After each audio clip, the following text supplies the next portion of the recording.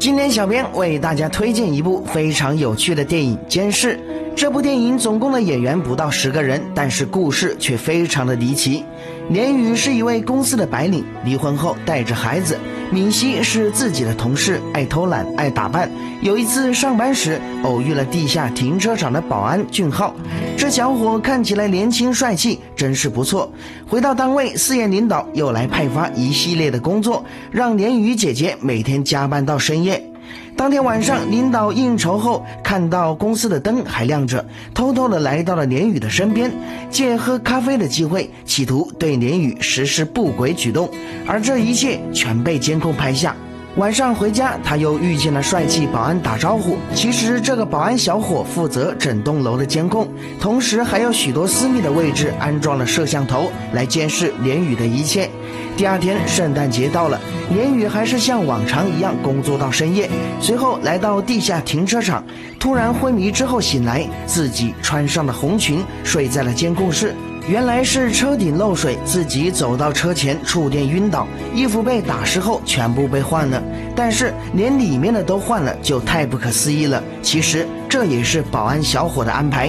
准备开车回家的他，又发现车也坏了，随后和小伙一起回到了监控室。小伙准备了烛光晚餐，连宇发现越来越不对劲，小伙的举动越来越过分。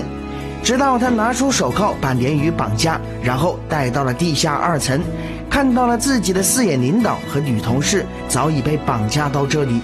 小伙做出开车撞死他们的动作一次两次，直到女同事被吓尿。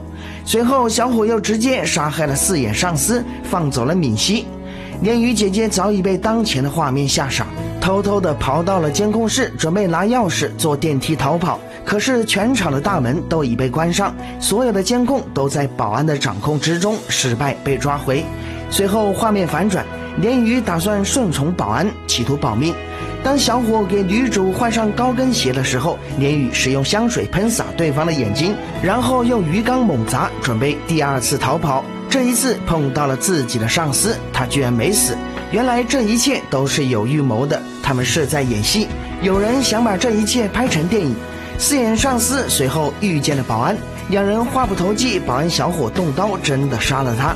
连宇最后打算和小伙拼命，偷偷的跑到监控室，找到了一台车的钥匙，双方开始了速度和激情。激烈的碰撞之后，连宇用装死的方法把小伙引过来，随后一刀解决了他。所有的故事结束之后，才知道原来真正的幕后黑手唆使保安绑架女子，上演爱情动作片。把所有的监控画面保存、剪辑成了一部电影，随后把监控销毁，再把电影拿到网络上贩卖。世界上真的有这样的事情吗？小编不知道。但是监控如果被坏人利用，真的太可怕。本期节目就为大家介绍这么多，更多精彩内容，小伙伴们可以点击订阅按钮关注我的。